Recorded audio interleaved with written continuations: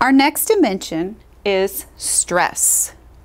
Now, I have this symbol, it's an exclamation mark, and we always go, whoa, when we see exclamation marks. We're giving it a little bit more emphasis or a little bit more stress. So, I'm gonna put this here to remind us what stress is. And stress, what it is, is it's how the reader emphasizes words in a text. Now, the way that you do this as a reader is you read important words with expression. You read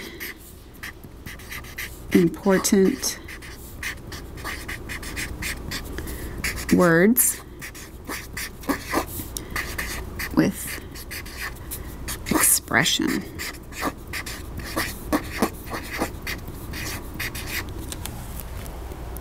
Let's listen as we hear some reading modeling stress. A boy was eating lunch in a field on his grandmother's farm. Her farm was large and he had explored and seen many things that morning. Do not wander into the woods, grandmother said, so he kept to the fields. As he ate his lunch, he heard the call of a blue jay. I will follow the sound of blue jay. I will find him and see his blue feathers and listen to his song. I will bring him bread. I like how you use stress on some of the important words. Next time, I think you could stress more of the words. Thank you for your feedback. You're very welcome.